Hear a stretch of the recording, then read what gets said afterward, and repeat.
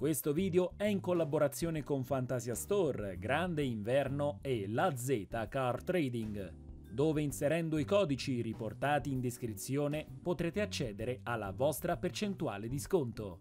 E con il Keyforge Network e Keyforge Italia. Buona visione! Signori, bentornati sul canale con il nostro consueto appuntamento settimanale. In Keyforge, da quando le prime chiavi sono state forgiate, un dubbio è sempre sorto nelle menti di molti giocatori. Essendo tre le chiavi che separano un forgiatore dalla vittoria finale con un loro specifico codice colore, rosso, blu e giallo, il quesito è sempre stato se fosse presente un vero e proprio ordine di creazione. Prima di iniziare, volevo avvisarvi che nella data di ieri, sabato 7, e in quella odierna, si sta svolgendo il torneo dal vivo all'Arcade and Food nella splendida cornice di Roma, la città immortale. La prossima settimana vedremo nel dettaglio lo sviluppo di queste due giornate all'insegna del nostro gioco di mazzi unici al mondo. Tornando al tema del video, attraverso due tematiche ben specifiche, in questo contenuto risponderemo alle domande Esiste un ordine di forgiatura per le chiavi in Keyforge? E l'arrivo della nuova casa del crogiolo, non ancora usufruibile per il nostro gioco di mazzi unici al mondo, gli Skyborn o Figli del Vento, tradotto alla bene in italiano, imporrà un preciso ordine di forgiatura alle chiavi presenti in campo? Scopriamolo assieme analizzando ogni singolo argomento. Andiamo a dargli un'occhiata. In Mondi in collisione, la terza espansione per Keyforge, sono state presentate una selezione di 10 carte provenienti da set futuri. Queste finestre temporali, che affacciavano direttamente su eventi ancora non avvenuti, hanno mostrato anche l'arrivo di una nuova casa, grazie al servitore Barone Rosso. Sappiamo molto poco dei figli del vento, se non fosse per una descrizione, devo dire anche abbastanza accurata, della loro struttura societaria, delle tecnologie che utilizzano e di molti altri aspetti che li caratterizzano, riportate nel manuale del gioco di ruolo I segreti del crogiolo. Vi lascerò come sempre il link in descrizione che introduce il forgiatore a questa nuova fazione. Si sa per certo che il loro elemento è il vento, abbastanza ovvio, e che utilizzano macchine volanti per potersi spostare in lungo e in largo tra i cieli del crogiolo. Tra i vari talenti aerei, il Barone Rosso è quello che, anche per cenni storici presenti sulla Terra, rappresenta la vera entità di un popolo che vive per volare ma vediamo cosa sarà in grado di fare una volta che sarà libero di librare sul campo di battaglia. L'effetto del barone rosso è diviso in due frazioni ben distinte, ognuna con un suo innesco ben preciso e diversa l'una dall'altra. La prima sezione riporta Mentre la tua chiave rossa è forgiata, il barone rosso ottiene raccolto ruba un ember. La seconda parte dell'effetto invece cita Mentre la chiave rossa del tuo avversario è forgiata, il barone rosso ottiene elusione. Quindi a questo punto, sapendo che nel vostro mazzo ci sarà questo servitore, non mi sorprenderei di scoprire che, per voi la prima chiave creata sarà proprio quella rossa mentre per il vostro avversario sarà quella che concluderà il match. E viceversa, naturalmente. Ora però iniziano a sorgere i primi dubbi al riguardo. Se l'unico del vostro avversario risulterà essere abbastanza forte da non farvi forgiare chiavi, avrete a disposizione un semplice mostro con i tratti cyborg pirata, con 4 di costituzione, una sola unità di armatura e praticamente nessun effetto.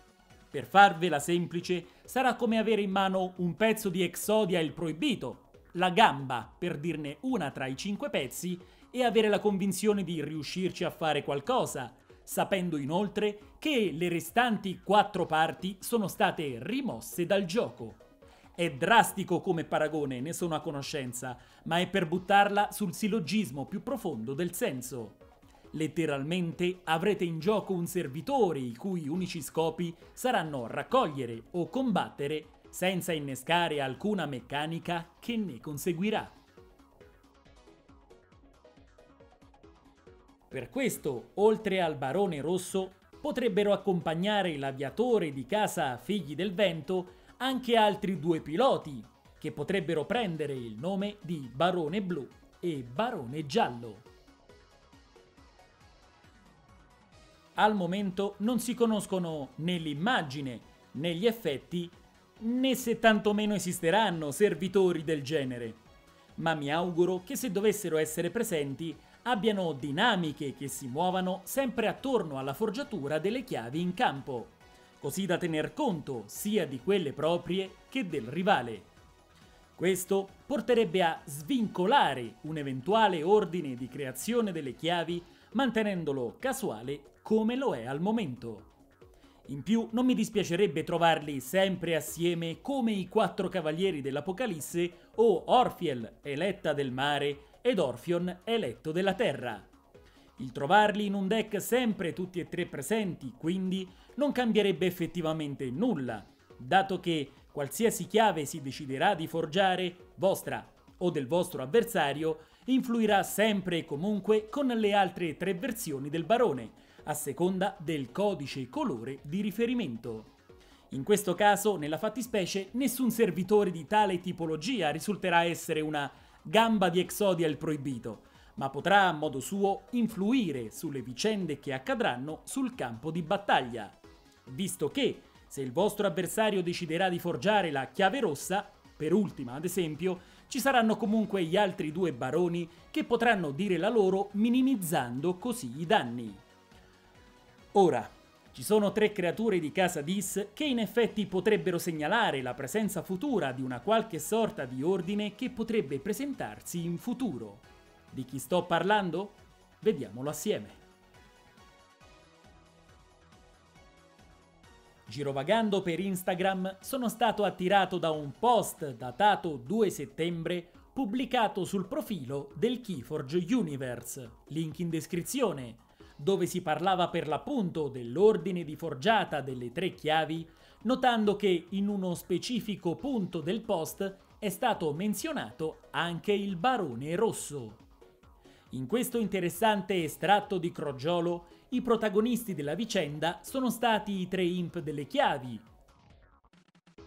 Bronzea, Argentea. E Dorata.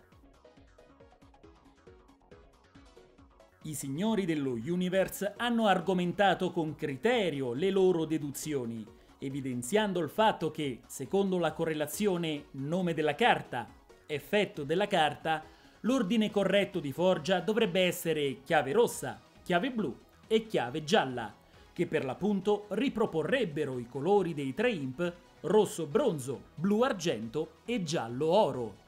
Hanno anche aggiunto che comunque nel regolamento non ci sono riferimenti a tal proposito. Ed hanno ragione, non ce ne sono mai stati. Per ora.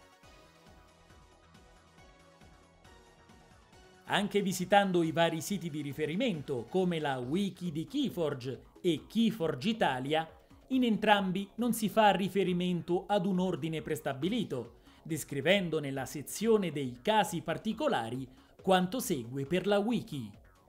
Domanda. L'imp ha dietro un occhio rosso.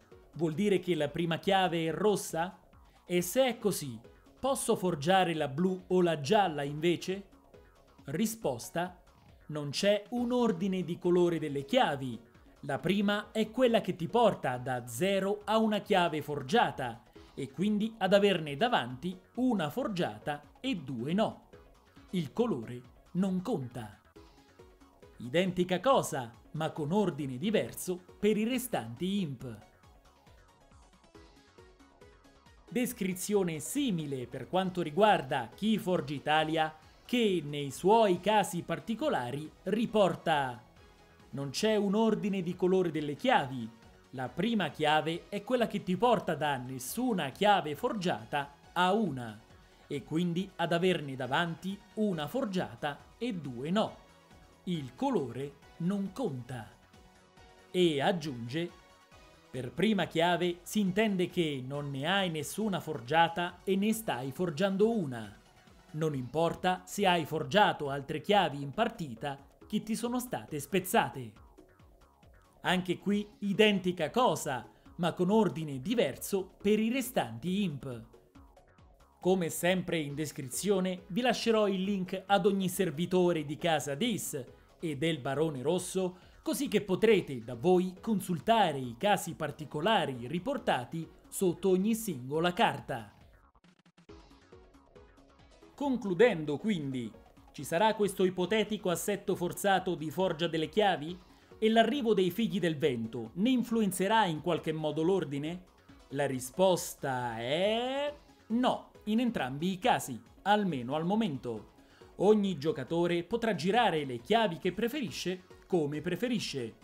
Almeno questo è ciò che succederà se tutto quello che è stato detto sugli Skyborn e i tre baroni si tramuterà in realtà ma anche in quel caso nel regolamento generale si potrà pensare di aggiungere una piccola voce che obbligherà ogni forgiatore ad una sequenza ben precisa e descritta, per vivacizzare le dinamiche di gioco. Accadrà? Chissà, staremo a vedere. Quindi mi preme dirvi, come sempre, di prendere tutte le informazioni che riguardano il futuro di Keyforge riportate in questo video come ufficiose e frutto di ipotesi. E voi cosa ne pensate di questa tematica? Fatemi sapere nei commenti le vostre opinioni e se secondo voi potranno esistere un giorno più Manfred von Richthofen che solcheranno i cieli del nostro amato crogiolo. Mi auguro che questo video sia stato di vostro gradimento. Prima di salutarci vi invito ad iscrivervi al canale, attivare la campanella per non farvi sfuggire la pubblicazione dei nuovi video, lasciare un like e commentare o condividere questo contenuto con i vostri amici. In più, in descrizione potrete trovare la wiki e la pagina di Keyforge Italia con tutte le carte aggiornate ad ondata oscura, che potranno tornarvi utili quando, durante una partita, verrà qualche dubbio sul come risolvere alcuni effetti. Per ogni carta infatti ci sarà una sezione dedicata dove troverete le risposte che cercate. Vi ringrazio di essere stati in mia compagnia. Noi ci vediamo al prossimo video.